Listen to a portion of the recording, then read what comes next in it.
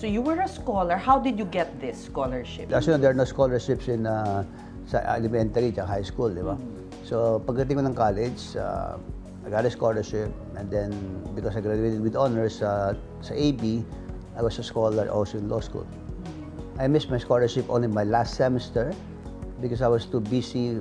I was the president of a student council, so you know, uh, less time for study and more time for extracurricular activity. Well, basically for seven, seven, and a half- seven and a half years, uh, I was a scholar. Was he really very smart? Inaasahan talaga siya maging successful. Ah, Talagang ano, napaka-studious din. Lumalaban kami ng pustahan. Magaling sa shooting to eh. Tsaka sa billiard. That's how we make money. So you would bet on him? Yes. Uh, Magkano ang mang maiuwi uminom. Piso-piso. Piso-piso lang. Tapos, ano, malaki, pi- malaki din ang araw yun.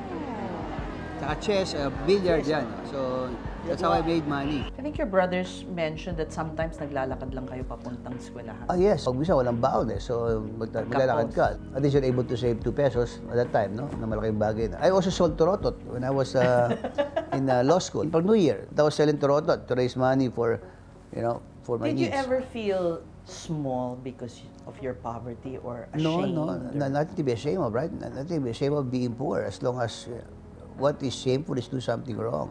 Hindi kayo nahiya na magbenta ng toroto? Bakit naman mga- Hindi man, wala namang masama sa pagbenta ng mga turoto. Ako yung presidente ng, ng klase. Siyempre, bibi- bibili sila sa akin. Paano.